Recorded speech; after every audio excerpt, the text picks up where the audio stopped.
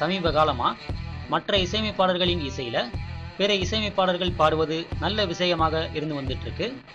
பிரியாணி படத்தில் யுவன் சங்கர் ராஜாவின் இசையில் விஜய் ஆண்டனி தமன் இமான் ஜி வி பிரகாஷ் உள்ளிட்ட ஏழு இசையமைப்பாளர்கள் பாடினாங்க.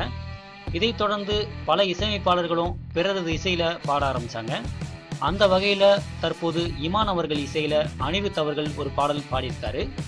லக்ஷ்மணன் அவர்கள் இயக்கி வரும் ரோமியோ ஜூலியட் படத்துல ஜெயம் ரவி ஹன்சிகா நடிச்சு வந்துட்டு இருக்காங்க இந்த படத்தின் படப்பிடிப்பு விறுவிறுப்பா நடந்து வந்துட்டு இருக்கு இமான் அவர்கள் இந்த படத்துக்கு இசையமைச்சு வந்துட்டு இருக்காரு இந்த படத்துல வரும் ஒரு கானா பாடலை இளம் இசையமைப்பாளரான அனிருத் அவர்கள் ரொம்பவே எனர்ஜெட்டிக்காக பாடியிருக்காராம். சமீபத்துல தான் இந்த பாடலை பதிவு செஞ்சிருக்காங்க.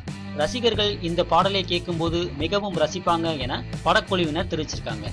செர்நேர்களே மீண்டும் ஒரு சினிமா செய்தோடு உங்களை சந்திக்கிறேன். நன்றி வணக்கம்.